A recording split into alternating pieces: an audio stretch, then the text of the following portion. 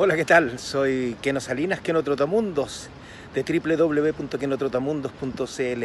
Les quiero contar que, gracias a Barraca Eizaguirre, ubicada en el paradero 14 Corazón de la Florida, atendida por sus propios dueños desde 1986 ahí, más que productos, soluciones. Estamos en esta cobertura internacional acá, en el Camp Nou, con kenotrotamundos.cl. Gracias, Barraca Eizaguirre.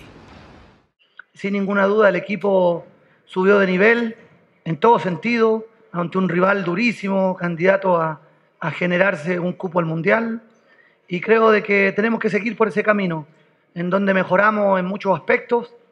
Eh, los detalles que trabajamos sin ninguna duda se vieron hoy en la cancha y creo que el equipo respondió en las facetas que, que habíamos estado al debe en, en los otros dos partidos, que era la definición, que mm, organizamos y fuimos más profundos, eh, nos generamos bastantes ocasiones de, de, gol, pero con trazos más largos, y creo que el equipo se adaptó bien a lo que fue el rival Brasil, durísimo, durísimo, con muy buenos futbolistas, pero Chile se adaptó bien y eh, fue un justo eh, ganador del partido. Chile fue el único equipo que logró someter a Brasil a que la dividiera.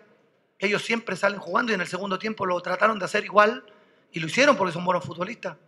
Hoy día jugadores subieron su nivel, estuvieron a la altura de lo que son y seguramente vamos a ir en ese camino de encontrar futbolistas que estén pasando por un buen momento y encontrar, ¿no es cierto?, el trabajo que venimos haciendo hace mucho tiempo. Hay que seguir creyendo en la idea, seguir creyendo en que podemos seguir mejorando, avanzando en los detalles, porque estos torneos son, son así, son complicadísimos. A nosotros nos costó en el inicio, nos costó y decidimos jugar largo para poder ganar la segunda pelota, ir a pelear el partido en el campo de ellos. Creo que ese fue el, el, momento clave del partido en donde el equipo se adaptó bien a ese juego